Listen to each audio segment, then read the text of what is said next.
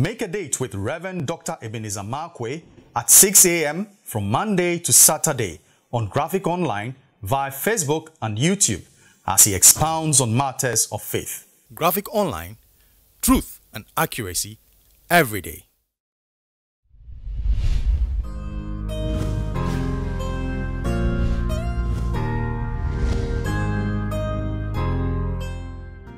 Hello, this is Reverend Dr. Ebenezer Markwei of Living Streams International bringing you matters of uh, faith with Graphic Online. And this morning I'd like to um, still teach on the forever battle. The forever battle. You remember the Bible said when Jacob was was uh, coming to meet Esau, and Esau was coming against uh, Jacob with a sword and uh, spears and all those other things. Then an angel of the Lord came and started wrestling with, with, with Jacob. Yeah. Now, the Bible said they wrestled throughout the night, and Jacob was insisting that he should be blessed. But the angel uh, didn't want to do the binding of uh, Joseph, uh, Jacob, by blessing him until he changed his name, until he asked him, What's your name? And um, it was when Jacob gave his name that the revelation of who he was, because your name is your definition, the definition of you. And when he gave out his name and said, My name is Jacob, and he said, Yes, for sure, you're a supplanter, you're a thief, you're a cheat. You dream about the possession of other people and find ways and means of acquiring them. That's who you are. And so Jacob had to go through a whole transformation. Now, here's the thing the battle continued until Jacob came to a full realization of who he was.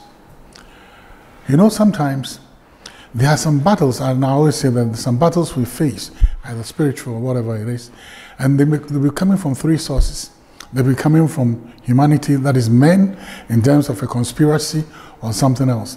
It could also come from the devil in terms of a satanic um, uh, program concerning your life, or it could also be coming from heaven. Now, when the battle is coming from um, men, uh, we can easily stop it with the snap of our fingers. We can easily ask, ask, the Lord, deliver us from evil, remove our feet from the snare of the fowler, blah, blah, blah, blah, blah, blah. That we can do easily. And then when it's also coming from the enemy, we can also, that is satanic program, we can also, like Jesus said, I have prayed for you that your faith will not fail. And then we can say, Lord, deliver us from evil. And then we can bind and loose and, you know, do all the things that we need, that the spiritual warfare that we can. Wrestling with the enemy and prevailing prayer, binding and losing, commanding, and all those things. But now here's the other picture. What if the battle comes from God? What if, like Jacob, it was God who started the fight? What, what if that? Are you going to bind God? Are you going to ask Him to deliver you from evil? Are you going to ask Him to remove your feet from the satanic snare, the snare of a fowler? No, this time He has activated it. And I want to say this. Sometimes there are some forever battles. This battle will continue. Things, situations will repeat themselves. This thing will continue for a long time until we fall at the mercy of God. That is when we ask for mercy. Sometimes there are things going on in our lives that God wants to draw our attention to. And God wants to tell us, this is who you are. This is what you are. This is what you are doing. And you know, He's going to release an avalanche of attacks. He's going to release an avalanche of things, and things are going to come flying at you from every angle. Hey, you can't bind God.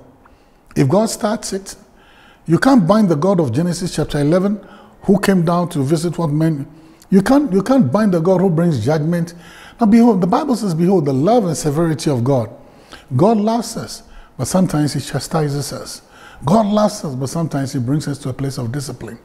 And until you come to that place of discipline, until you come to that place of order, until you come to the realization that this is what He is doing, and not necessarily enemy action, not necessarily the wickedness of men, but this is the handiwork of God. This is the prompting of God.